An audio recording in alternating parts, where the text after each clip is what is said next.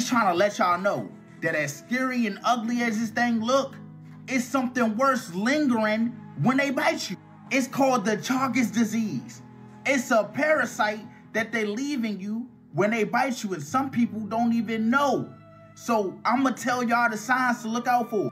So in the early stages of symptoms, you might have a little swollen eye, you might get fatigued, or you might have a fever.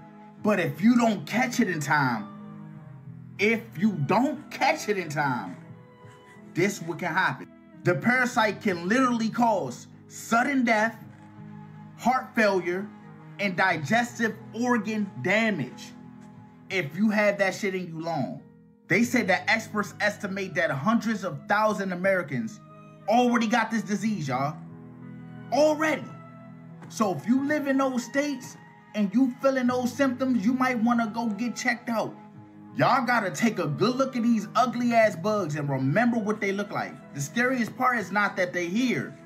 The scariest part is people can get bit by this and not know that they got bit and carry this disease. To me, it just sounds like a whole lot of uh, prepping up for excuses of why other people are dropping. That's how much faith I got left in news and media.